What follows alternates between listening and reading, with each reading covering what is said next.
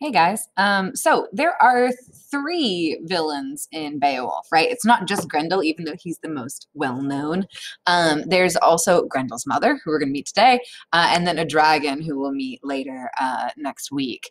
Um, so Grendel's mother is obviously very upset about the death of her son. She is a monster, uh, much like Grendel is, um, and she decides to take revenge. Okay, so uh, that's what we're going to be seeing here. So we have her introduction, and we're also going to be reading her battle with Beowulf.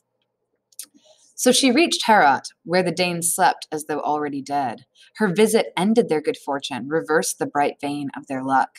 No female, no matter how fierce, could have come with a man's strength, fought with the power and courage men fight with, smashing their shining swords, their bloody hammer forged blades onto boar headed helmets, slashing and stabbing with the sharpest of points.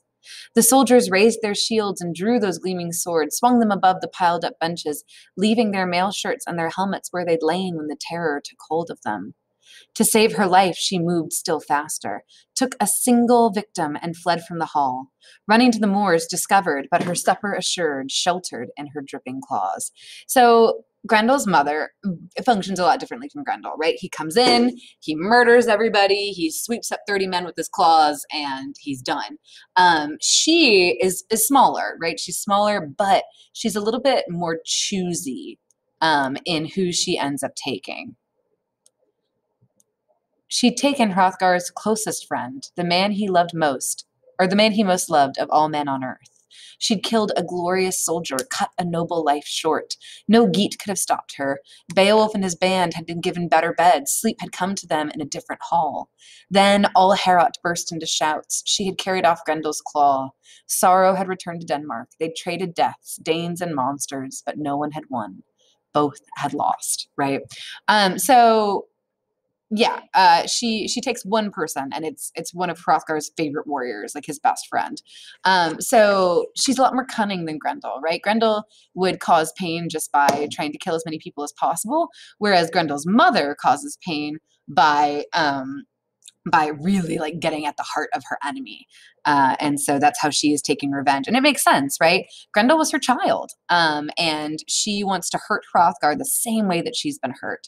So she needs to take the man that he loved most of all men on earth the same way that Hrothgar, via Beowulf, took that which she loved more, more, more than anything on earth. So um, Hrothgar sends for Beowulf, obviously, because Beowulf is his monster slayer. So he tells her where Grendel's tells him where Grendel's mother lives, uh, which is darn, down in a deep, dark lake. They live in secret places, windy cliffs, wolf dens where water pours from the rocks, then runs underground, where mist steams like black clouds, and the groves of trees growing out over their lake are all covered with frozen spray and wind down snake like roots that reach as far as the water and help keep it dark. So it's a pretty horrifying um, lake here that she lives in. Um, it's not just a, a nice one, right? Um, it's a, it's a it's a really gross one. It's got steams. Um, there's it's frozen. There's all these trees all around that keep it really dark all the time. At night, that lake burns like a torch. No one knows its bottom. No wisdom reaches such depths. A deer hunted through the woods by packs of hounds, a stag with great horns, though driven through the forest from faraway places, prefers to die on those shores, refuses to save its life in that water. Um, so that's just kind of emphasizing how unnerving uh, and how kind of otherworldly this lake is is even if a deer is being will face certain death on the shore and they might survive in the water they don't go in the water uh, because of how horrifying it is. It isn't far nor excuse me nor is it a pleasant spot. When the wind stirs and storms wave or sorry when the wind stirs and storms waves splash toward the sky as dark as the air as black as the rain that the heavens weep our only help, again, lies with you. Grendel's mother is hidden in her terrible home, in a place you've not seen. Seek it if you dare. Save us once more. And again, twisted gold, heaped up ancient treasure will reward you for the battle you will win. And now we move into the battle. Because obviously Beowulf's going to go, right? He uh, he can't help himself. He you know has to has to uh, attack. He can't just allow this thing to happen. He needs more fame. He leaped into the lake, would not wait for anyone's answer. The heaving water covered him over. For hours he sank through the waves. At last he saw the mud at the bottom. Excuse me, I'm sorry, I'm yawning. And all at once the greedy she wolf, who'd ruled those waters for half a hundred years, discovered him, saw that a creature from above had come to explore the bottom of her wet world. She welcomed him in her claws, clutched at him savagely, but could not harm him, tried to work her fingers through the tight ring woven mail on his breast, but tore and scratched in vain. Um, so again, we have that nice, cunning, greedy she wolf is such a great one.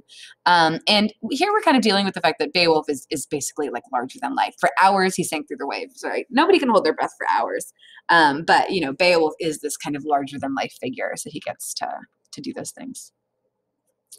Then she carried him, armor and sword and all, to her home. He struggled to free his weapon and failed. The fight brought other monsters swimming to see her catch, a host of sea beasts who beat at his mail shirt, stabbing with tusks and teeth as they followed along.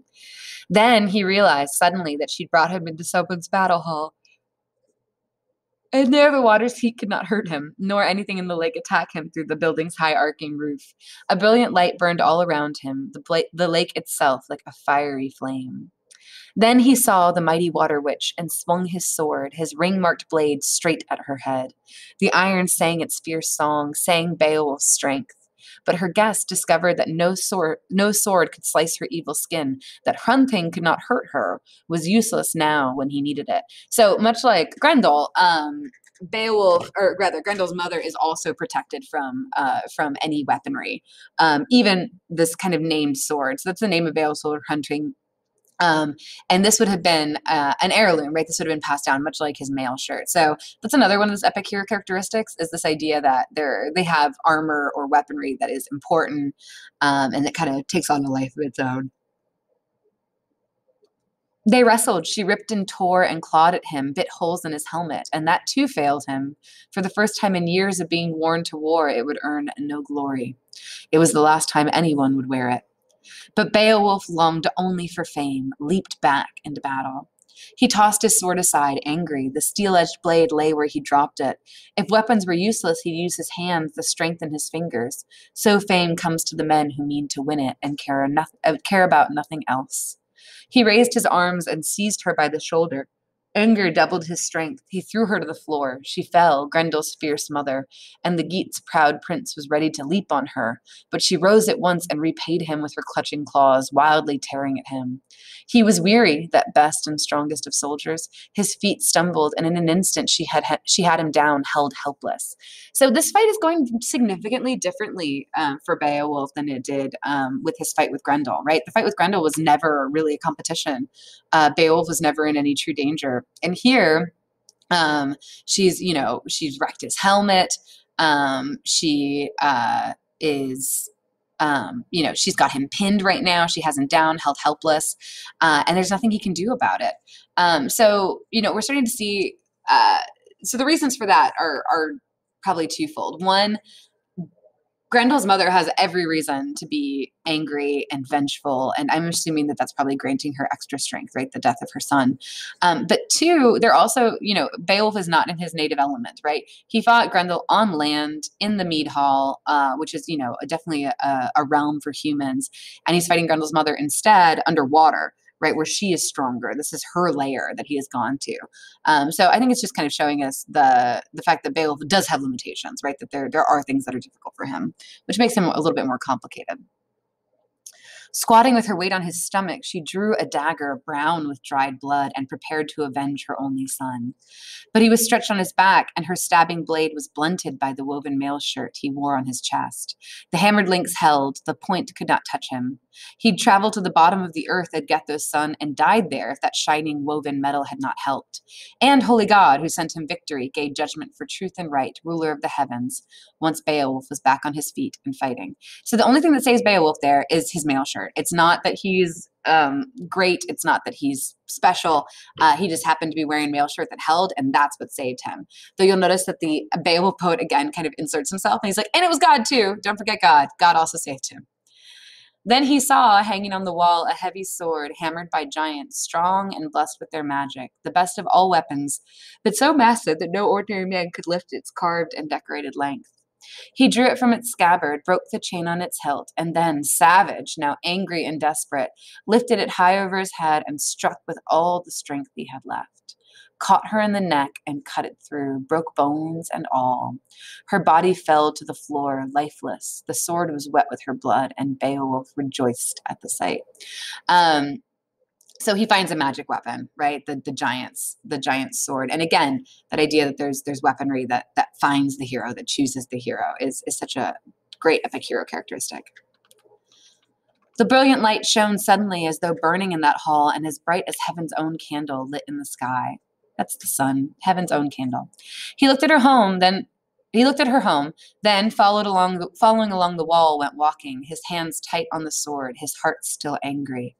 He was hunting another dead monster and took his weapon with him for final revenge against Grendel's vicious attacks, his nighttime raids, over and over, coming to Heorot when Hrothgar's men slept, killing them in their beds, eating some on the spot, fifteen or more, and running to his loathsome moor with another sick, sickening, with another such sickening meal waiting in his pouch. But Beowulf repaid him for those visits, found him lying dead in the corner, armless, exactly as that fierce fighter had sent him out from Heorot, then struck off his, his head with a single swift blow. The body jerked for the last time, then lay still. Um, so again, uh, this is not a very Christian thing to do, obviously, right? This is a very pagan thing.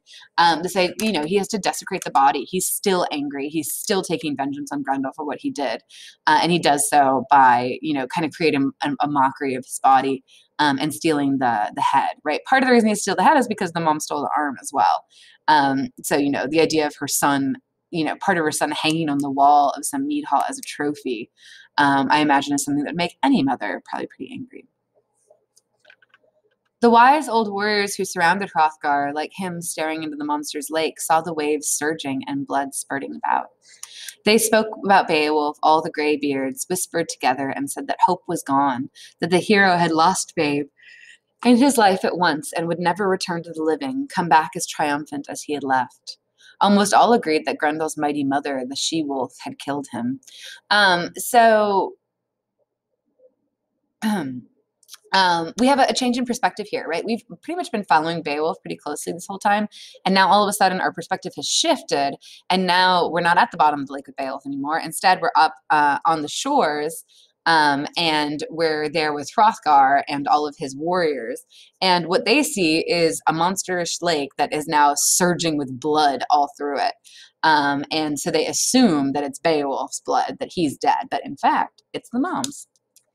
The sun slid over past noon, went further down. The Danes gave up, left the lake, and went home, Hrothgar with them. The Geats stayed, sat sadly, watching, imagining they saw their lord, but not believing they would ever see him again. Um, and again, so here we have that loyal attitude of the Geats. I'm so sorry, I'm yawning. Um, the loyal attitude of the Geats, the fact that they stay despite the fact that it's entirely possible that their king is dead, or not king, their prince rather. Um, and you know the Danes leave, but the Geats stay. They they know that they have to stay uh, and kind of see this out. Then the sword melted, blood soaked, dripping down like water, disappearing like ice when the world's eternal Lord loosens invisible fetters and unwinds icicles and frost as only He can. He who rules time and seasons, He who is truly God. Again, I think that was a little like intercession that he put in there. Um, but basically, it's melting, right? This this blade is melting because of the acidity of this blood. The monster's hall was full of rich treasures, but all that Beowulf took was Grendel's head and the hilt of the giant's jeweled sword. The rest of that ring marked blade had dissolved in Grendel's steaming blood, boiling even after his death. Oh, sorry, Grendel's blood, not his mother's. Uh, and then the battle's only survivors swam up and away from those silent corpses. The water was calm and clean, the whole huge lake peaceful once the demons who'd lived in it were dead. Then that noble protector of all seamen swam to land, rejoicing in the heavy burdens he was bringing with him.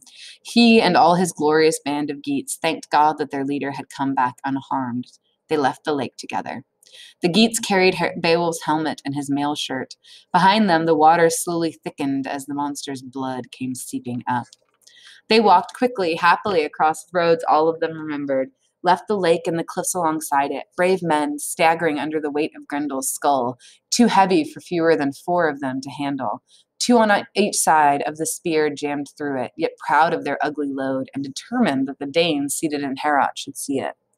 Soon fourteen Geats arrived at the hall, bold and warlike, and with Beowulf, their lord and leader, they walked on the mead hall green. Then the Geat's brave prince entered Heorot, covered with glory for the daring battles he had fought. He sought Hrothgar to salute him and show Grendel's head. He carried that terrible trophy by the hair, brought it straight to where the Danes sat, drinking, the queen among them. It was a weird and wonderful sight, and the warriors stared. Um, so again, showing us how strong Beowulf is. Uh, it takes four uh, of the Geats to carry Grendel's skull, and he carried it up no problem, like one handed with the sword in the other, or the sword hilt in the other. Um, so again, just kind of showing us how larger than life uh, Beowulf is. So Beowulf triumphant yet again, um, and he has now eradicated the line of Grendel. Um, uh, and uh, has has the match set right, mother and son. Okay, uh, let me know if you have any questions.